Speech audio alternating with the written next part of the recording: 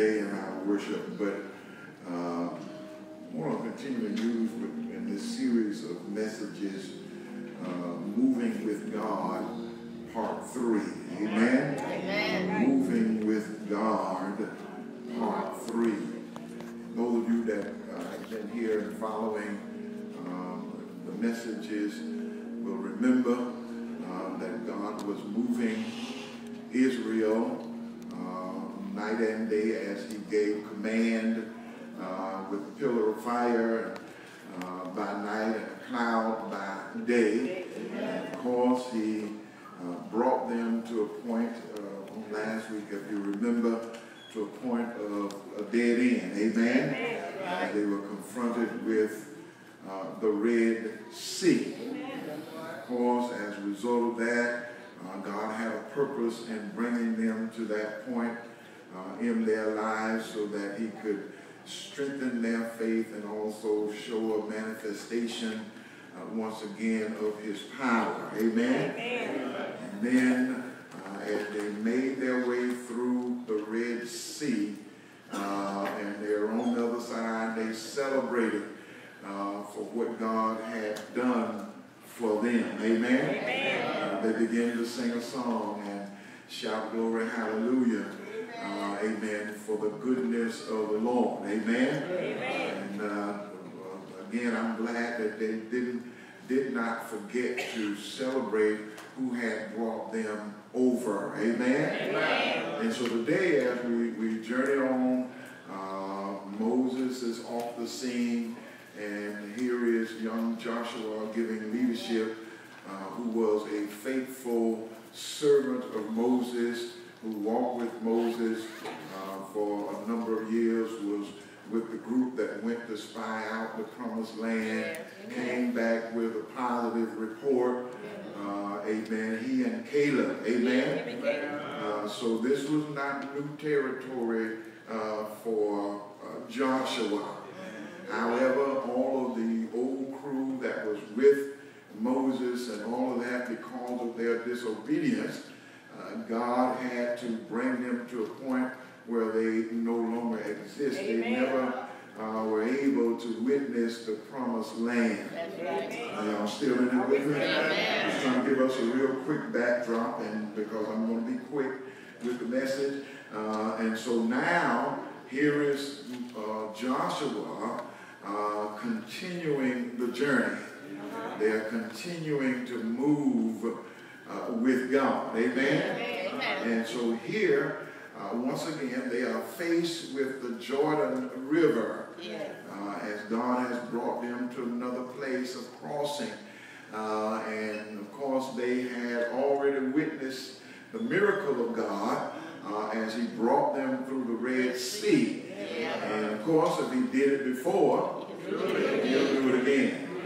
And so now Joshua has the task of leading them through the Jordan uh, into the promised land. How many people know that where your blessings are, there's always going to be some issues uh, while you're on your way there. And so as they were journeying in, uh, the very first place that they meet up with uh, in the book of Joshua uh, is Gilgal. Most of us are familiar with uh, Jericho, but the very first problem, uh, issue that they had was Gilgal. Amen? God has a way of getting us to where we need to be. Amen? But I want to give us a quick backdrop as we continue to move with God because uh, the book of Joshua symbolizes uh, the end of, and I say it symbolizes the end of the dispensation of the law. Amen? Amen. And of course, uh, as we uh, look at this, Joshua is a type of Christ. Right. Don't want us to miss that. And because he he followed Moses, and so grace and truth came by Jesus Christ. Amen. And so here they are opening a new chapter in their lives. God has to bring us to that point, amen, where we have to open a new chapter in our lives. And I love this book of Joshua because just because God had promised them the victory in the land of Canaan, he had promised them uh, again told them that they can go in and possess the land. Yeah. Hallelujah. Hallelujah. Did not mean that they were exempt from having problems. Did not mean that they was immune to having issues. Have I got somebody in here? I don't want us to have the, the false notion just, just because we are children of God that the devil won't get on our trail. Matter of fact, the day that you got saved, yeah, he launched a war on you. Ever got anybody? He wasn't bothering you while you were doing your other stuff. But as soon as you say yes to your will, yes to your way, oh man, he set up, he set up camp on you. Ever got anybody in here?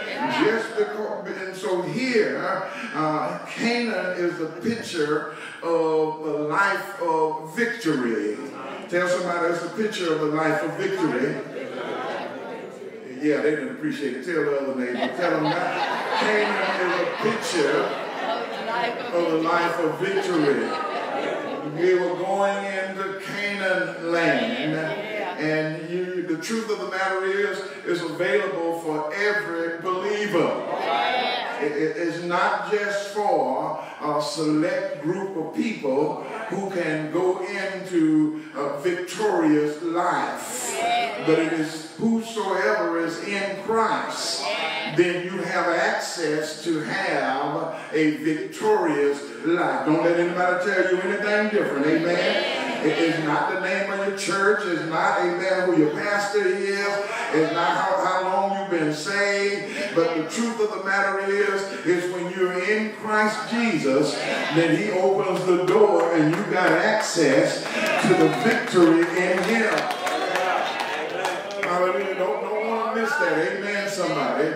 And so to, to, today, amen, I want to encourage somebody, amen, as we walk through the land victory, amen, to make sure that you stake your claim as God has told us to do. Amen? Amen. amen. So these few passages will help us to understand what it takes to go from wandering in the wilderness to having victory in our lives. And we got somebody in here? Israel, Israel in this chapter it must be applied to our lives spiritually. Amen? Amen. Yeah, we ought to, if we're going to walk in victory, uh, then it's going to require some things of you and I. Amen. Amen. Amen. And so the first thing that God does, and I'm going to be quick, amen, uh, is he commands or he commissions Joshua because he said the land had already been given to Israel. Amen. And so now he authorizes them to go in and possess the land. You have permission, so he commands them, amen, to go in and claim your promise. Yeah. Somebody and tell them, amen, this, this is this time right now to claim your promise. Yeah, God has given that to every succeeding generation of Israel. Amen? And, and the truth of the matter is, and this might pinch a little bit, but many believers, many Christians are living in defeat or living defeatist lives because you're still wandering around. You're saved, but you're wandering around. You're saved, but you're not claiming the victory in Christ Jesus. Come on, somebody. You, you, you love God, but you're missing uh, all of the things that God has for you. Are y'all still in here? Amen, somebody. And I heard Paul say, Thanks be to God, which causes us to triumph in Christ Jesus. And so if you are in him, you ought to again desire to live the victorious life. Some of y'all, some of y'all miss that. Yeah, yeah, yeah. Well, that's why Paul says, in all of these things, we are more than conquerors. Amen. Through Christ Christ Jesus or by Christ Jesus. Amen. He did not save us to be defeated. He did not save us to walk around and say, well, I don't know, I hope uh, God does so. No, you should be walking around uh, saying, you know what, I already have the victory and I'm standing on the promises of God. It makes me tired to hear believers amen, walk around defeated and walk around uh, insecure and walking around feeling inadequate. When you know Jesus, that ought to give you a holy boldness. That ought to help you say, you know what, I refuse to walk any other way than in the victory of God. Hallelujah, somebody. And so that, that, that, that's, that's very important because God says in the text, amen, as he commands Israel, and this is for us as well, he says, everywhere, look at verse, verse, look at verse 3. He said, every place.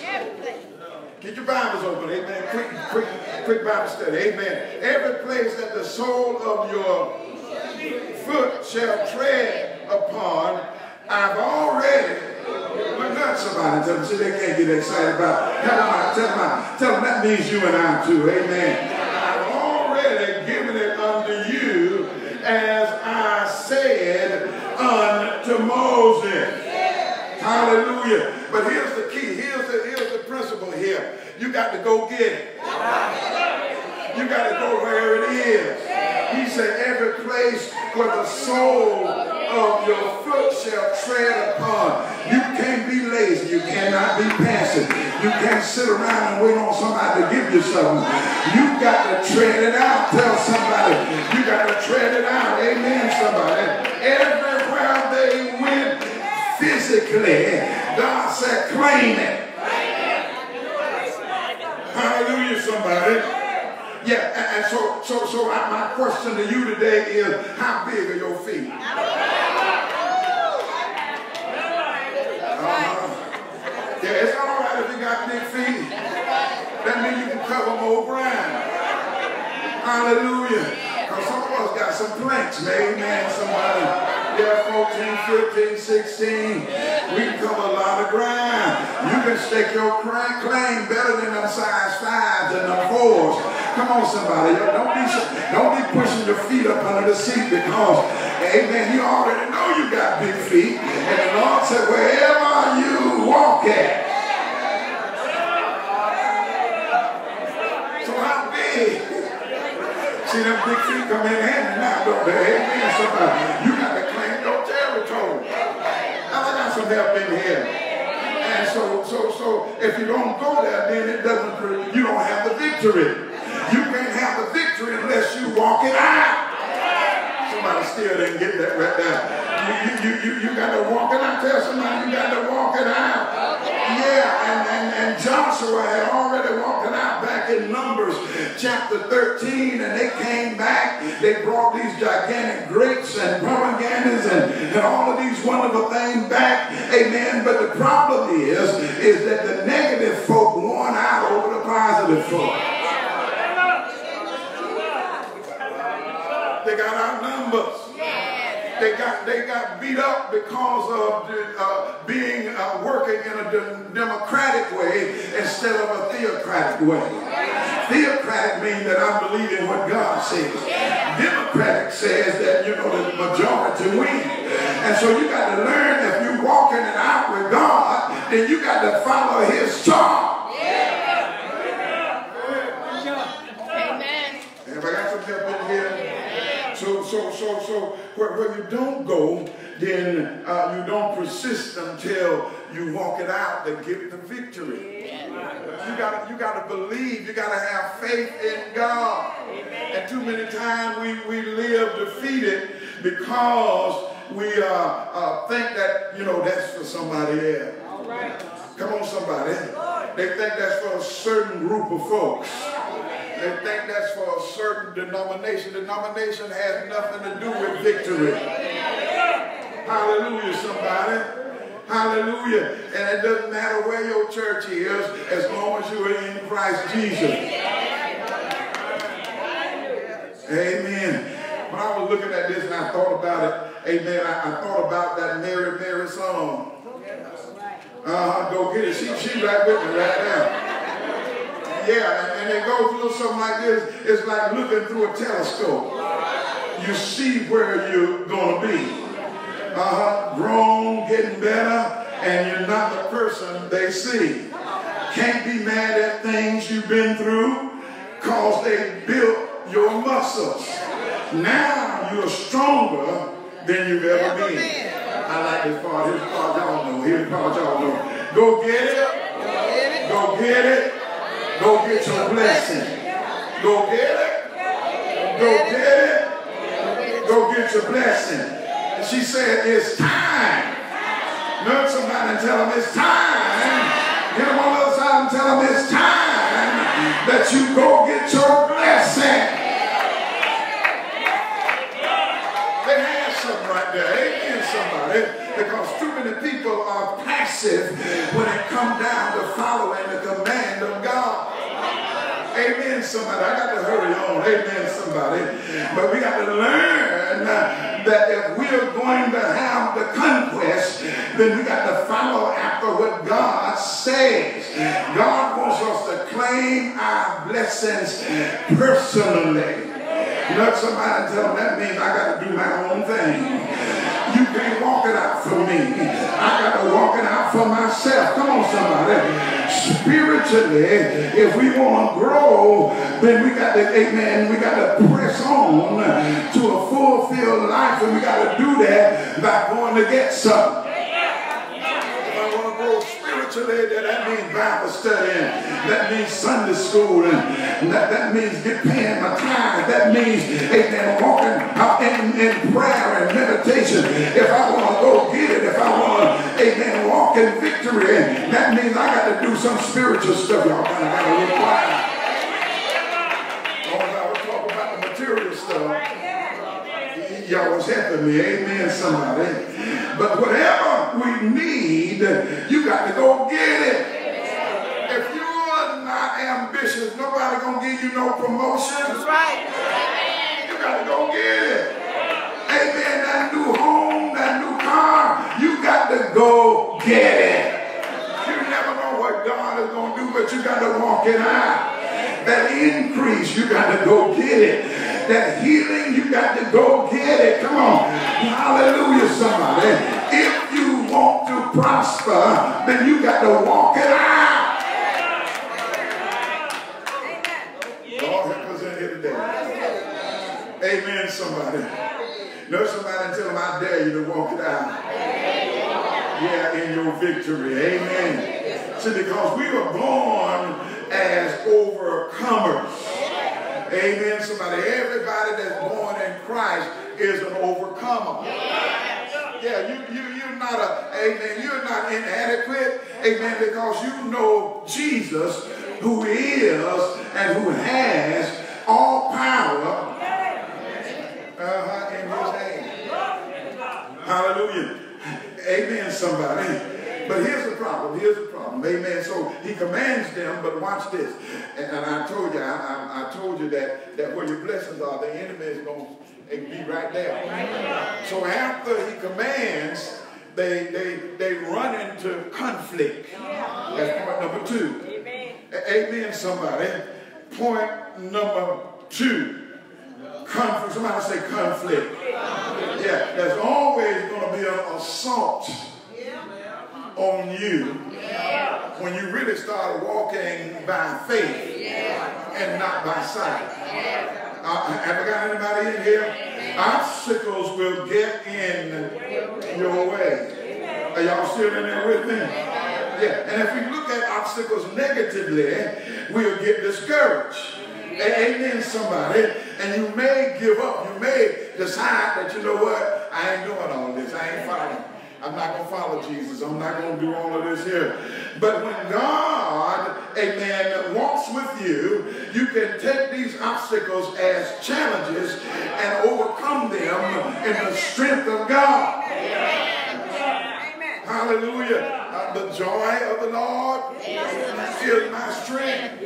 So I can't get sad. That's the time that I got to continually to have joy that's going to strengthen me. Are y'all in there? So the obstacles help us to uh, become stepping stones in your life. I'm trying to hurry on. Amen, somebody. They are opportunities so that you can see, so that you can grow in the faith. Y'all still in here? Y'all got quiet on the obstacles. Everybody in here has had some. Everybody in here is going to have some more. Amen, somebody. And, and, so, so, so we got obstacles in our way, but God says, go get it. Go get it. And I'm saying it's mine. Yeah. And I don't care about the obstacles. Yeah. If God be for me, who can be against me? Uh, the Lord is my life and my, come on somebody, my salvation. Whom, oh, I got the Bible. Shall I fear it? Whom shall I fear? I, tell somebody, you better go get it. Don't, don't be backing all up scared and all that stuff because God said it's all right. Hallelujah, somebody. He's already given you the authority to walk through the land. Are y'all still in here with me? Uh, don't allow discouragement. All these obstacles are a training ground. They get us ready. Come on, somebody. All of that discouragement and disillusionment that we made, he's just calling us into a place of appointment so that you can walk it out in the land.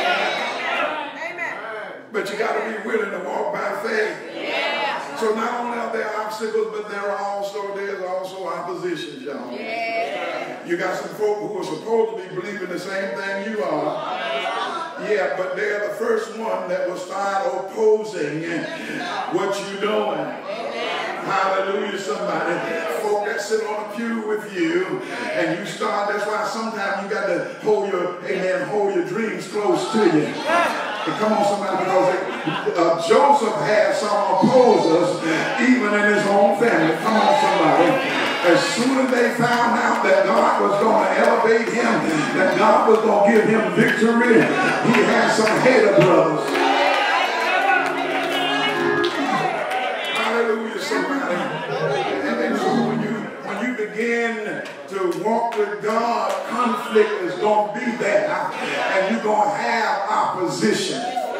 Never got somebody in here? Yeah, start reading your Bible and start following God and start going to Bible study and, and, and start saying, Greater is He that's in me than He that's in the world. Opposition gonna rise up against you. And we gotta know how to defend ourselves because somebody said, Girl, I ain't gonna be doing all that, all that praying and all that studying. Man, you gotta be out of your mind when you got to be so holy. Yeah, but but but tell somebody now is the time to be holy because God has commanded you to possess the land, to go have your victory. Come on, somebody. We got too many Christians that are weak and powerless, no word to fight off the devil. That's why I keep reiterating, reiterating Sunday school, Bible study, training sessions. Come on, somebody. Yeah, amen. Because when you find out that man shall not live by bread alone. So y'all miss your shout right there. But every word that proceeds out of the mouth, when the devil start come bothering you, yeah, you, you'll have a word for him. And you'll be able to tell them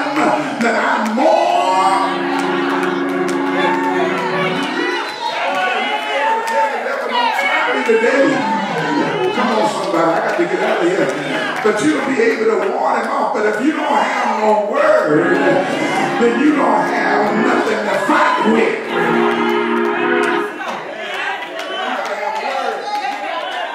Hallelujah. I love to shout. I love to praise. I love to dance. I like to run.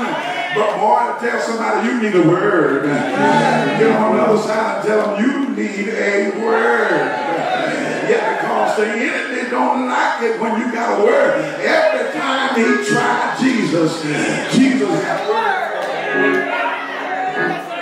So you're going to have opposition whenever you begin to do what God has commanded you. You're going to have conflict. Come on, somebody. But you got to remember, you, you, you got to tell the enemy when he starts opposing you, you know what? I can do all things through Christ who strengthens, strengthens me. Have I got somebody in here? But we got to remember, amen, that we will have opposition. We will have conflict. Conflict against us. Conflict that comes from the world. Conflict that comes from the flesh. That's why Paul says, I die daily. Why do you have to die daily? Because some days when I would do good, evil is always present. Some days when I think about how wretched I am, I, realize that within me there is no good thing. See, some of us would lie to ourselves then, amen, just confess to ourselves and say, you know what? Thank God for his grace because you want a rotten hammer knocker. Come on, somebody. But a couple y'all ain't to shout your mission. Shout right there. But, but you'll be able to say, you know what? But that's why I die daily, so that God can give me brand new grace every morning. Come on, somebody. Fresh grace, fresh favor on a daily basis. Hallelujah, somebody. Hallelujah. So I know I'm going to have conflict with the devil. That's why every day you got to suit up, put on the whole armor of God. Because if somebody puts up on Facebook or Instagram that you don't like, sometimes the handle fly off and you forget that you're a child of the king. You forget amen, that uh, you are supposed to walk boldly in the word of God. Instead of that, you start answering the devil. Sometimes you just got to be quiet and don't say nothing to that demon. But let them talk on, let them, uh, amen, type in what y'all quiet on me. Yeah, you don't, yeah, you don't have to respond to every crazy thing that somebody says about you. You know, amen, somebody that, that takes away time from you that you could be enriching yourself in the Word of God. Got no time for your nonsense. Got no time to reply to your foolishness. Got no time, amen, to go along or, or reply to all of the crazy, crazy, crazy, crazy stuff that you got going on. Amen, somebody. You know, we've been commanded to claim yes, the victory. Yeah. That's why he tells us to love not the world because the world don't love you. Amen. Yeah, they, they, they don't care nothing about you. And so the question is, how big are your feet? If, if I got any, amen, spiritual walkers in here, amen, that don't mind walking it out, Amen, somebody. Yeah, tell somebody this thing is bigger than any denomination. Yeah. who claim that they have the, amen, they got all of the answers. Have I got somebody in here? No, they don't. The Bible has all of the answers. Amen, somebody. So we got to learn how to replace our fears, our anxiety. Amen, our anxieties and our inadequacies amen, with the power of God. Are y'all still with me in here? I'm in my seat in just one more, one more, amen, one more point here. Amen. Thirdly, hallelujah, give me, give me five more minutes. Amen. Amen. So you got, uh, again, your command. Amen. But then after the command comes conflict. conflict. Yeah. So it's no easy, it's no smooth sailing. Yeah. But you know you already have the victory. And then thirdly, God calls us to courage. Tell somebody you got the courage up. Get them on the other side. Amen. You got to courage up. Courage up. Verse 6 and 7, he says, Be strong. Got too many weak believers. He said, We got to talk about it more. Amen. We got to talk about the power of God more. He said, Be strong and of good courage.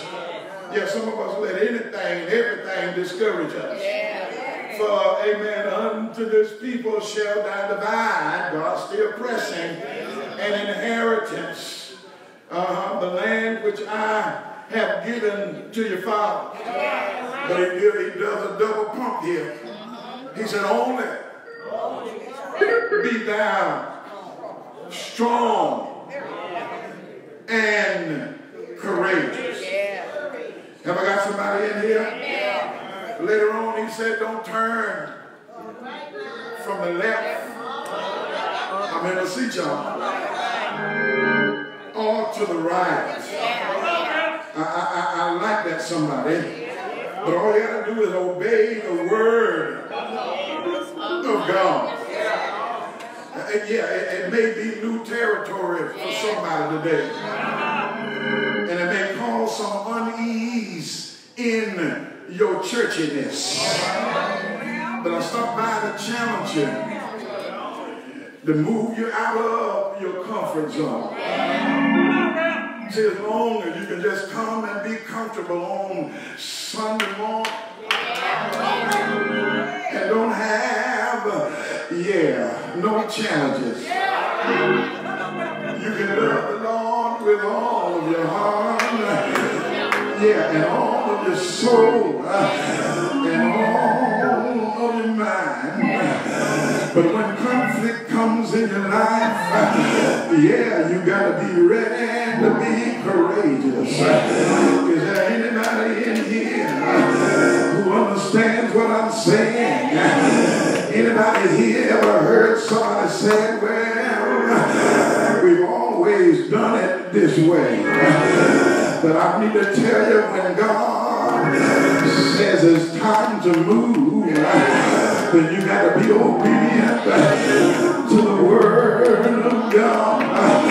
That means that sometimes Require you uh, to drop some of your familiar traditions. That means that God will uh, sometimes require you, uh, yeah, to do some things that you've never done before. Come on, high five somebody. But I heard the Lord say, you need to courage up. Look at your neighbor on the left side and tell them you got the courage up. When they talk about you, courage up.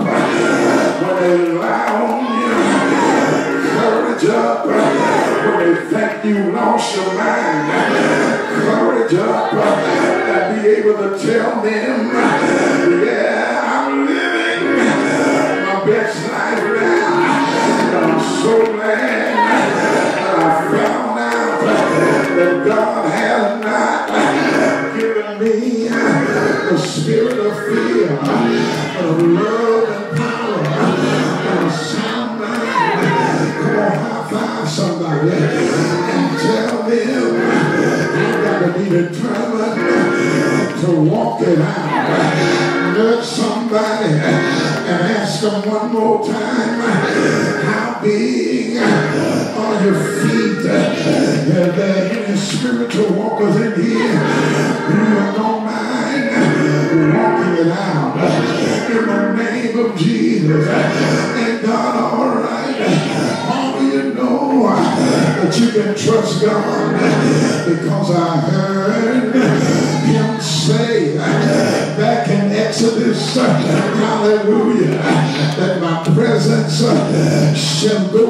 you wherever you go. Thank God, all right. I know he's on that omnipresent. He's everywhere at the same time. He's talking about another presence. God says I'm going to manifest myself to you. When you start walking it out, you can stick your claim. And God, all right, somebody it's time to move. Tell somebody you got to go get your blessing. Tell somebody that your victory is waiting on you. Ain't God all right? Someday, someday, on the way to my seat. I gotta remind somebody, don't let nobody turn you around because the Lord will take care of you. Is there anybody in here know what I'm talking about? Come on, high five somebody and tell them get ready for your victory. Get ready for your turnaround. Get ready for your breakthrough. Anybody know he's able? Somebody shout able.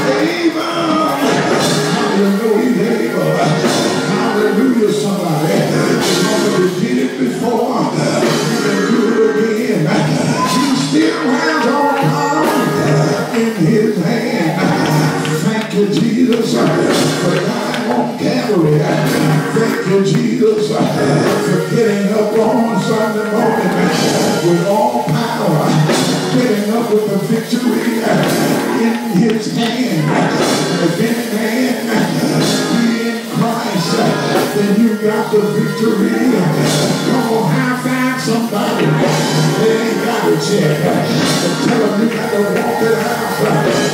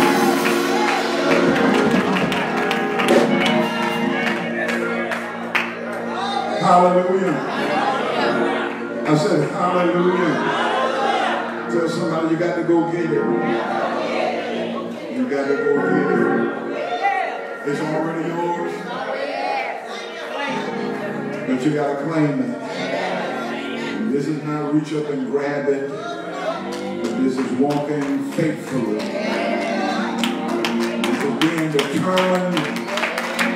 I believe what God. And I believe that He's going to keep His promise. We got to stand on God's word. His word is already established. Hallelujah, somebody. And it will not return void. Amen. Amen. Bible said that it's going to do what God sent it out to do. We just got to walk in it. Amen. So don't worry if you got big feet. You can make more claims. Hallelujah. So now you don't have to push him up under the pew. But to start singing that old country song, These feet are made for walking.